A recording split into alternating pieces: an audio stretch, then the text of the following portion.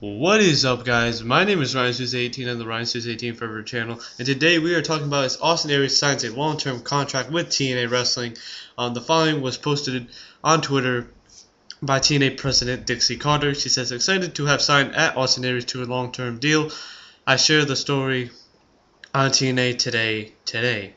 So what does this mean for, for TNA? Does TNA must have a lot of big plans for Austin Aries. I mean, he is the TNA World Heavyweight Champion, was the former X Division Champion, so I, I can very much see a long and bright future for Austin Aries in TNA Wrestling.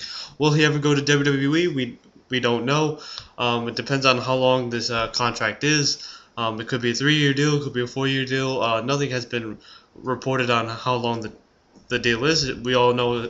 Only thing we know is that it'll be a long-term contract deal for Austin Aries.